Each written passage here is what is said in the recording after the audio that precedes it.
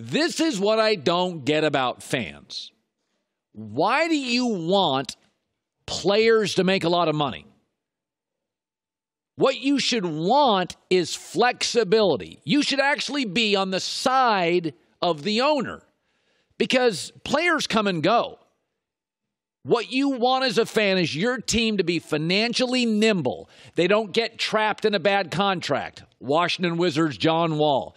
What you want from your team, because you grew up in the city, right? You grew up in Milwaukee, you grew up in Dallas, you grew up in Chicago, you grew up in Atlanta, you grew up in Tampa. The player, it'd be nice if he gets paid, but you don't want your team to get trapped. That's when you become a bad team. New England never gets trapped. You know what I mean? They don't get tra- San Antonio Spurs rarely get trapped. So I never understood fans who like, yeah, my guy got paid. What do you care? He's not going to hang out with you. He's not going to party with you. He's not going to spend it on you so he can afford another yacht. But it's a prime example. Michael Thomas just made a $100 million extension five years. He's worth every penny. But this is why the NFL's got it right and the NBA doesn't. So, first of all, Michael Thomas is very productive. Secondly, they've paid him almost nothing for three years. Uh, third, now you only have to guarantee 60 of the 100 million, meaning if he goes sideways, you can you can bail on it. And D, he's almost guaranteed to continue to be productive because of Drew Brees and Sean Payton and that offensive concept. It's great for him. He gets generational wealth, but it's great for the team and the fan because listen, the Saints want to win now, and they're paying him now money for the next three years. It's guaranteed. So his family's well off, but the team's in a good spot. If the last two years, if he gets hurt, team can move on. He's still generationally wealthy. The team got every bit of production out of him. Yes, it's a lot of money to pay a wide receiver. But I've always said I'll pay a quarterback, I'll pay a left tackle, I'll pay a defensive lineman, and in, and in some cases, I'll pay big for a wide receiver. He's a guy I'd pay for. Drew Brees is getting older, I'd pay for him.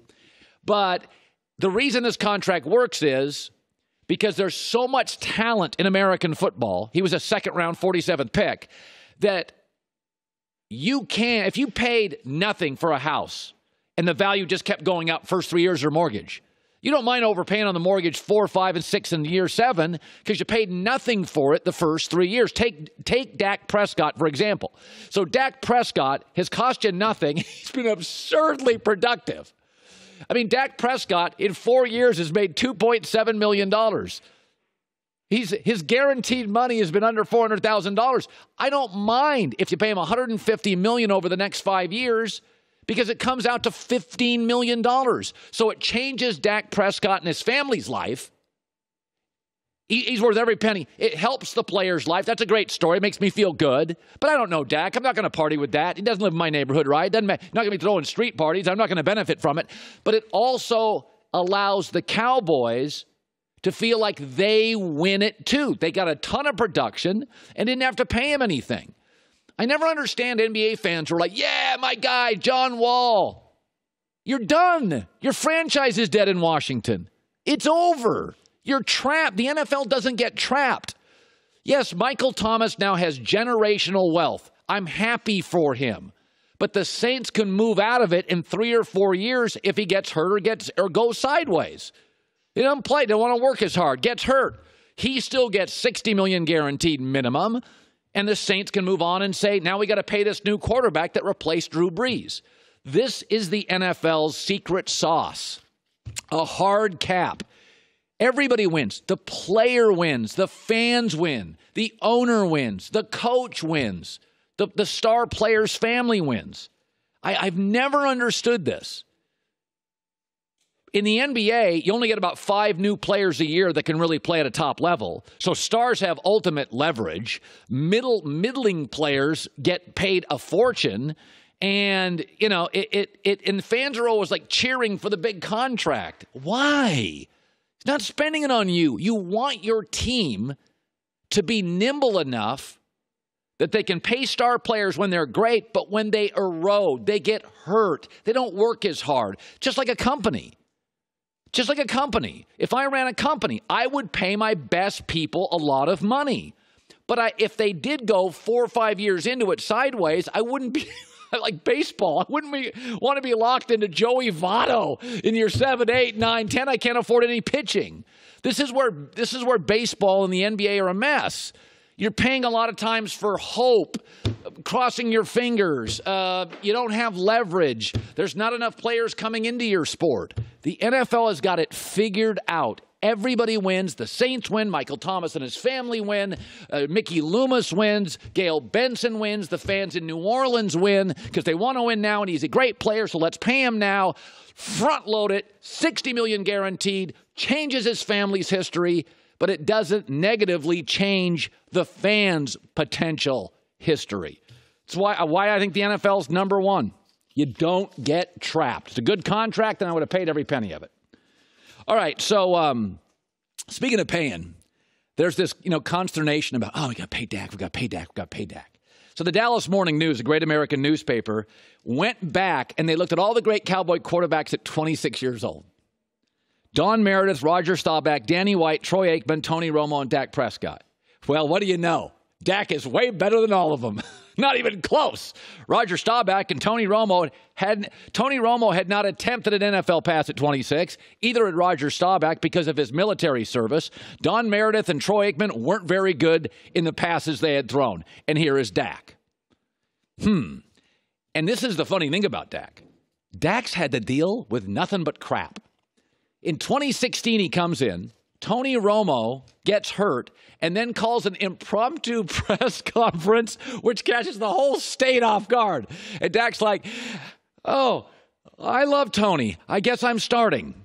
The following year, he has to deal with Zeke's six game suspension. The suspension hovered over training camp. Tyron Smith, the left, best left tackle in football, gets hurt. And then last year, he loses Dez, he loses Jason Witten, he loses the best center in football, Travis Frederick, and there's an anthem controversy he has to put his arms around. And the entire time, win the division. He also has to deal with a public owner. He has to deal with a coach who's on a perpetual hot seat. Pay the man. For seven years, all you fans have done in Charlotte is make excuses for Cam Newton. He's had above average offensive lines, above average running games, an above average head coach, above average defenses. Excuses, excuses, excuses. Dak Prescott has had to deal with controversies, suspensions, uh, an absurdly public. There's not even a second owner in the league that's close to Jerry in terms of setting fires as an owner. Controversies, suspensions, the anthem thing, Jerry talking, coach on the hot seat, Jason Witten retires wins every single year. Second winningest record to Tom Brady since he came in the league. Little perspective. Dallas Morning News says, let's look at all these great Cowboy quarterbacks at 26. How were they?